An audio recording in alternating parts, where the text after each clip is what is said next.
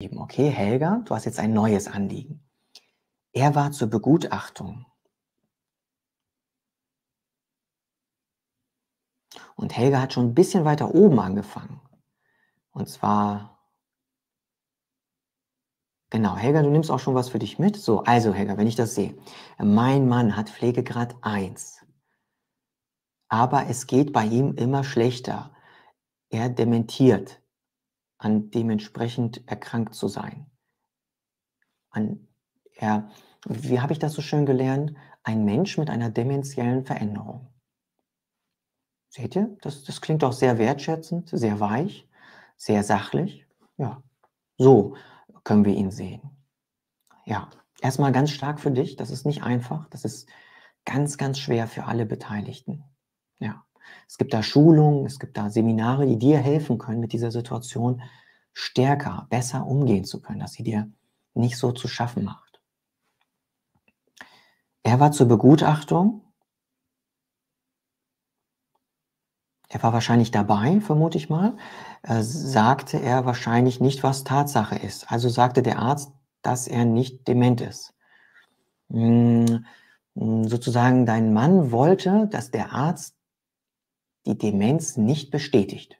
Das kann sein. Das ist in einer gewissen Form sein, sein Recht, sein, sein Wille. Er hat Angst. Das ist auch ein Thema. Demenz ist viel mit Angst verbunden. Ähm, ja. Und dann schreibst du weiter. Nun ist über ein Jahr vergangen und es wird schlimmer. Ich verstehe dich sehr gut. Du bist da als Pflegeperson, als Ehefrau da mit eingebunden. Und es, du bist mit dieser Situation, die sich die von alleine nicht besser wird. Du brauchst Hilfe in deiner Region. Ich würde gerne einen Antrag auf hoher Stufung stellen, aber ist, ich weiß, er wird abgelehnt. Nö, wird er nicht. Nein, Helga, keine Knoten im Kopf. Ne? Bitte, du bedankst dich schon für die anderen Kommentare, die die Leute schreiben. Die machen dir nämlich ganz viel Mut. Helga, binde deinen Arzt mit ein. Filme Situation. Zeichne sie auf mit einem Diktiergerät oder irgendwas. Äh, erstelle ein, ja, ich finde Tagebuch, wo man nur sowas schreibt, ist zu wenig. Das ist, das ist von früher. Helga. Unbedingt, unbedingt wehren. Ich weiß, wie schwer es ist. Ich, Dein Schmerz kommt hier durch den Stream bei uns an. Das ist nicht einfach. Wir denken dann, er wird abgelehnt. Also wenn wir schon so denken, dann denken wir, was alles schief geht und was alles nicht klappt und das ist alles doof und du darfst es auch lassen. Du darfst, du musst keinen Höherstufungsantrag stellen. Du kannst Du kannst dann nicht mehr machen, weil du erschöpft bist, weil alles sehr belastend ist, richtig. Und das ist, finde ich, eine große Sauerei gesellschaftlich, alles euch in die Schuhe schieben zu können und zu sagen, äh, macht ihr mal. Ähm, du hast die Möglichkeit, einen gesetzlichen Betreuer für deinen Ehemann zu beantragen, weil du dich auch nicht mehr drum kümmern kannst. Du, du willst das nicht, er lässt sich nicht helfen. Ähm, du gibst ihn sonst bei der Polizei nächste Woche ab. So. Schreibt ihnen das, die sollen sich drum kümmern. Dann sollen die doch sehen, wo er wohnt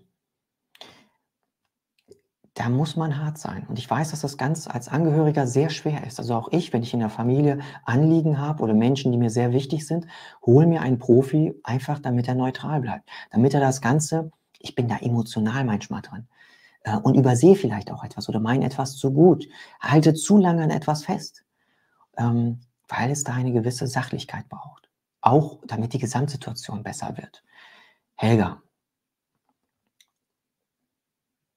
Ich wünsche dir Türen, die sich öffnen, die du siehst, wo Hände rausstrecken und die du nehmen darfst.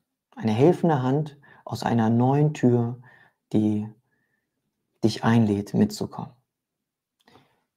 Hier über den Chatbereich können wir solche Anliegen nicht lösen. Das funktioniert nicht. Es braucht mehr Zeit.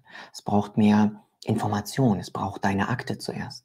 Auch bei dir ein Dokument oder wenn du vielleicht etwas älter bist und das nicht kannst, du kannst aber die Sachen alle ausdrucken, alle sammeln als echte Akte. Das ist schon wertvoll. Vielleicht kann ein junger Mensch dann ein Video machen, der filmt das dann von oben und macht dann, blättert dann um. Das wäre wertvoll. Das ist dann sowas ähnliches wie ein PDF. Ja, solche Sachen. Dann hätte man das digital online. Dann kannst du das schicken. Du kannst es weiterreichen. Du kannst es an fünf Leute gleichzeitig geben und du bekommst fünf gute Antworten. Liebe Helga, du kannst gewinnen. Du wirst gewinnen. Du schaffst das. Vielleicht kleine Mäuseschritte vorwärts. Ja? Es war nicht einfach, dass vielleicht dein Mann dann bei dem Verfahren nicht so verständnisvoll war, nicht so sehr mitgeholfen hat. Ich kann dich sehr gut verstehen. Liebe Helga, bitte. Schlaf eine Nacht drüber und entscheide selbst, wie du mit der Situation umgehen willst. Und ich habe auch Verständnis, wenn deine Kraft dafür nicht ausreicht. Dann vielleicht habt ihr Kinder, vielleicht gibt es Nachbarn, vielleicht gibt es irgendjemand, eine gute Freundin, eine Bekannte, vielleicht in der Kirche oder im Feuerwehrverein oder was es so alles gibt. Bohlen und so, verstehst du? Buchverein. Hm.